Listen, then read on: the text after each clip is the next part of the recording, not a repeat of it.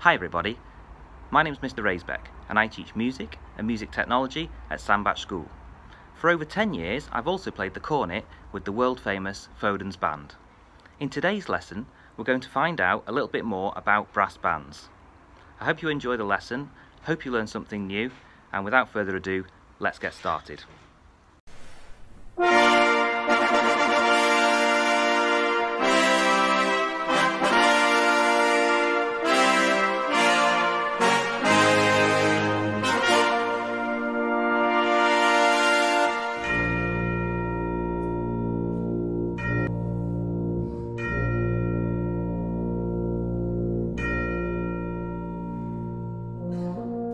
Sandbach is home of Foden's Brass Band.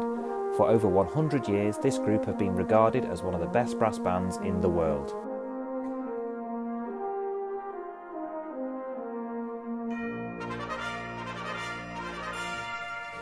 Brass bands are not professional. This means the players all have different jobs during the weekdays, but then in the evenings and at weekends, they practice their instruments and play concerts together. 100 years ago, though, the best brass bands were much more like professional teams, as rich industrial business owners would give the very best brass band players jobs in their factories, mills, or down the mines, and would set time aside every day for band practice.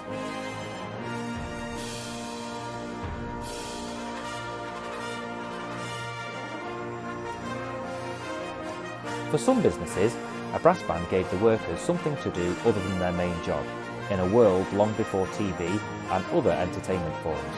For others, a good band could travel around the country and act as an advert for their company, a bit like the businesses that sponsor sports teams today. One of the most successful businesses to do this was the Foden's Motorworks. From 1887 until 2006, Foden's created steam engines, trucks, and lorries, and in 1900 their owner decided to form a brass band at the company based in Elworth.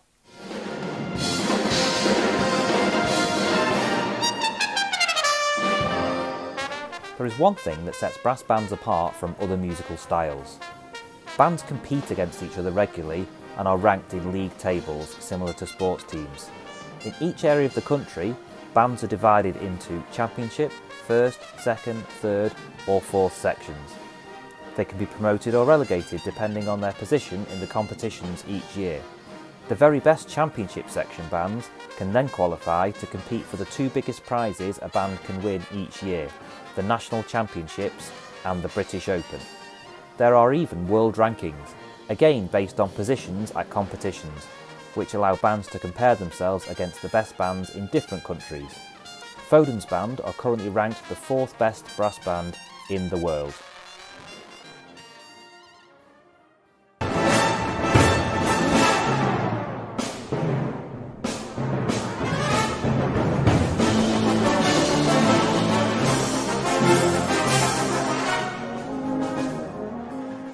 Fodens have been national champions 14 times, most recently in 2018, and have been British Open champions 12 times, most recently in 2012, when the band achieved a rare feat of winning both the Open and Nationals in the same year, perhaps similar to a League and FA Cup double in football.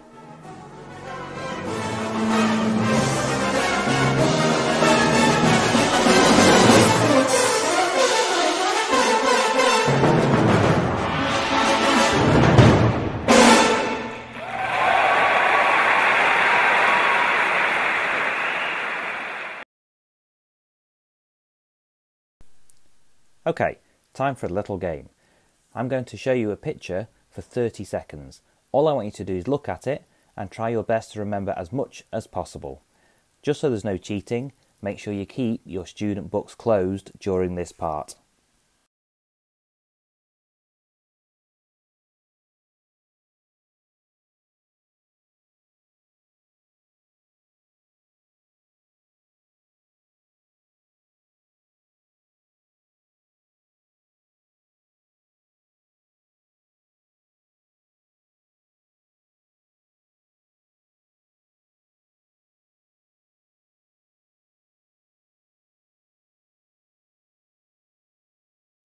So that's time's up. Open your student booklets and have a look at the questions which say, can you remember the eight labels that were on the diagram? What colour were the jackets? How many people in total make a brass band in this picture?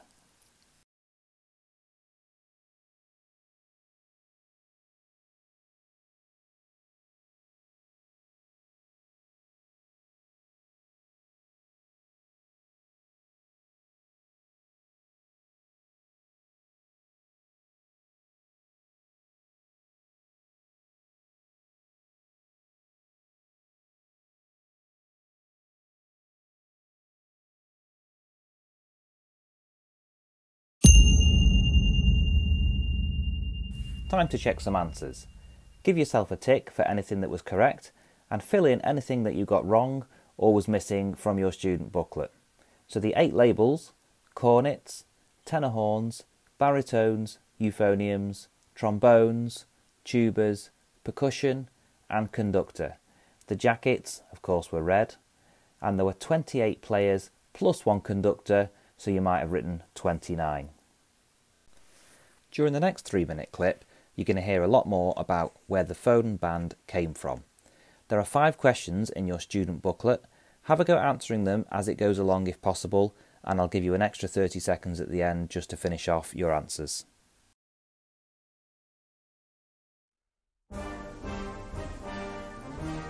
The origins of Foden's band go back to 1900 when the village of Elworth decided it wanted its own band to perform at local events. However, by 1902, this original Elworth Silver Band had stopped playing due to financial disputes with the local council. The village band was dissolved, all of the instruments were sold, and any money made was donated to local charities. 62 year old industrialist Edwin Foden of the Foden's Motor Works stepped in to rescue the situation. He purchased a set of instruments, found a rehearsal room, and looked for banding success. But it wasn't that simple. The playing standard was still poor. Towards the end of 1907, Edwin had had enough. He sent his sons to all of the musical solo competitions to recruit the best players. It was easy. They offered the chosen ones a house, a skilled man's rate of pay at the motorworks, a new instrument, and the potential to be part of the finest band in England, a lot like a rich football owner buying a team of superstars. Such was the recruitment success that the band won the double the British Open and the National Championships in 1910. Within the next year, Edwin Foden had died, aged 70, leaving his sons to take on the family business and the band. Fast forward to the 1920s, and it was one family, the Mortimers, who came to the band with four extremely talented musicians.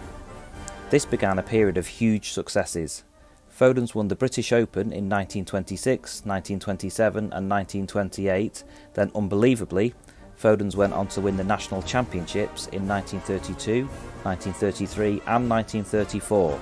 They were barred in 1935 for their hat trick win, but then went on to win in 1936, 1937, and 1938, a double hat trick. In all, the Mortimer family won 10 national championships with Foden's. Rex, the youngest family member, retired from the band in 1975, 50 years after the beginning of his family's involvement with Foden's. In the 1980s, the Foden's Motorworks company were struggling, eventually selling most of their assets to an American company. A new sponsor would need to be found for the band. In 1986, the band accepted sponsorship from the Britannia Building Society, the same company that sponsored Stoke City Football Club for many years the band were renamed the Britannia Building Society Band. In 1997, a new sponsor was found from French instrument manufacturer Antoine Courtois. They also allowed the band to revert back to the original name of Foden's. And then when this sponsorship ended in 2007, it became clear that finding a single company to financially support a brass band was no longer viable in the modern world. Since then, and today, the band relies on several smaller sponsorships and partners to keep the band playing. If you didn't get a chance during the clip to answer the questions, please answer them now. If you've already done them, just check your answers make sense.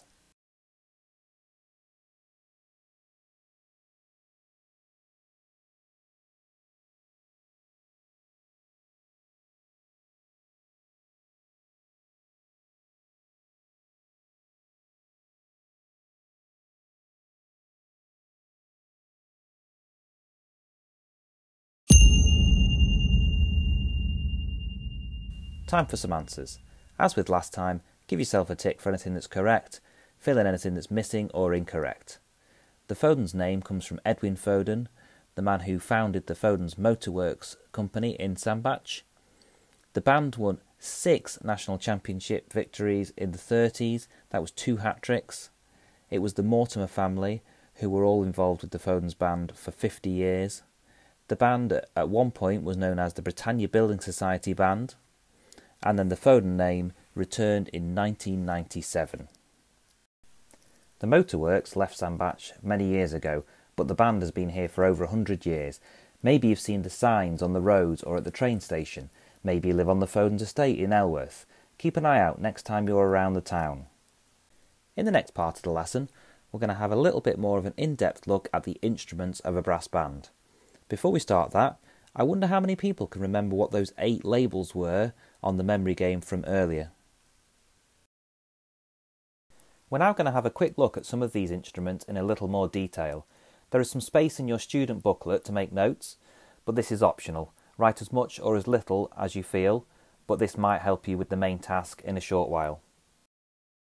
The cornet, the smallest instrument in the band, plays the highest pitched notes. There are 10 cornet players in the band. It's very similar design and sound to a trumpet.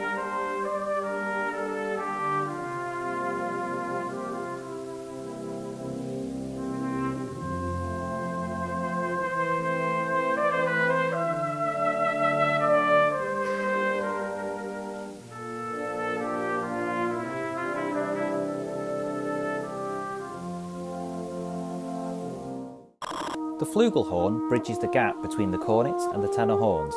It's a similar pitch to a cornet, but the pipes have been widened to mellow the sound similar to a tenor horn.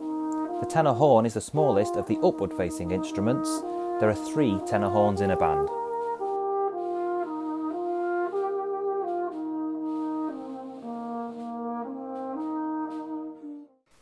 Moving into the middle and lower range pitch instruments, the euphoniums and baritones again are upward facing.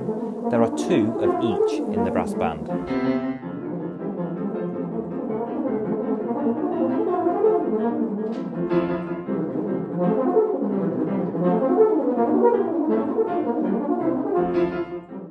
The trombone is unique. It is the only brass band instrument that uses a slide to change the pitch rather than the valves. There's three of them in the brass band.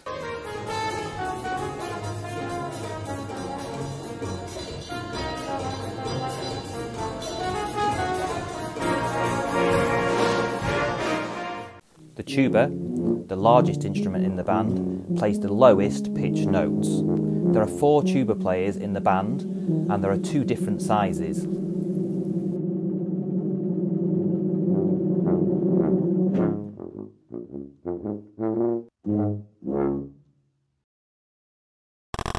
The percussion section have to play a huge range of different instruments.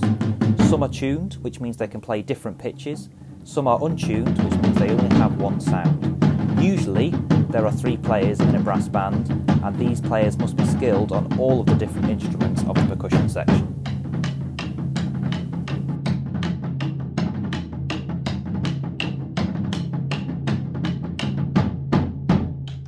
The conductor. To the casual eye, the conductor's main job is to keep everybody in time, and this is partly true. But in addition, they give the band instruction on how to play each part of every piece. They decide how loud each section of the band should be playing, and they run all of the band practices. There is one conductor in a brass band.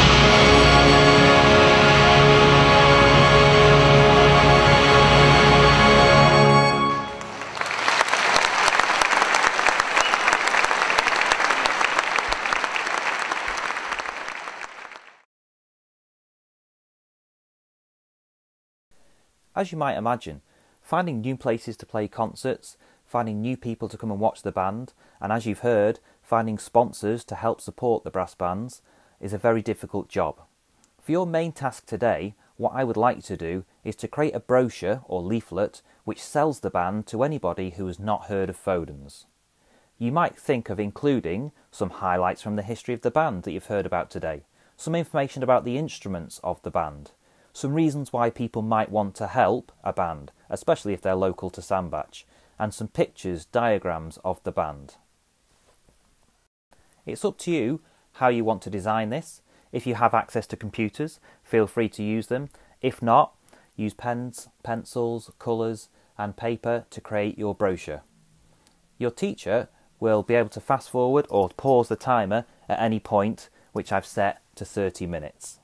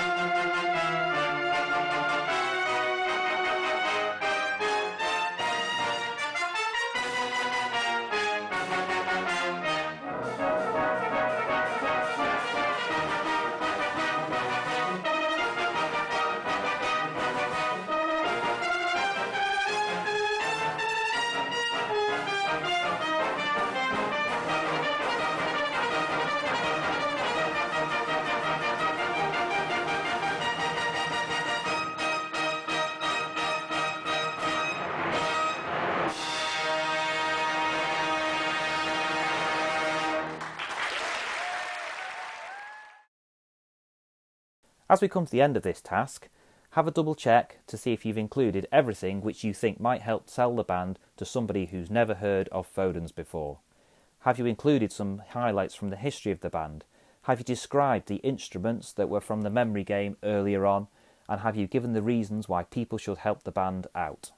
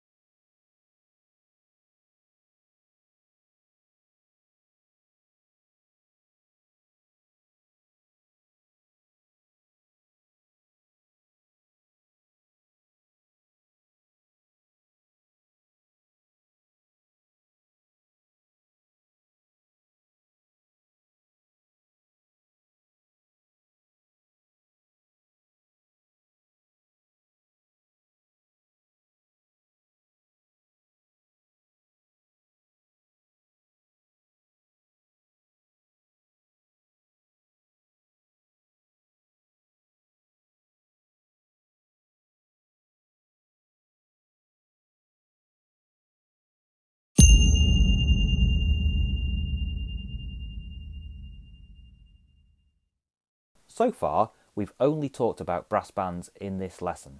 What I'd like you to do in the next task is to match the instruments in the list to three different types of musical ensemble an orchestra, a brass band, and a jazz band. It might make life easier if you start with brass band, since we've talked about that so much today. For an orchestra, you're looking for 13 instruments, a brass band 9, and a jazz band 6. But be careful, you will need to use some instruments more than once.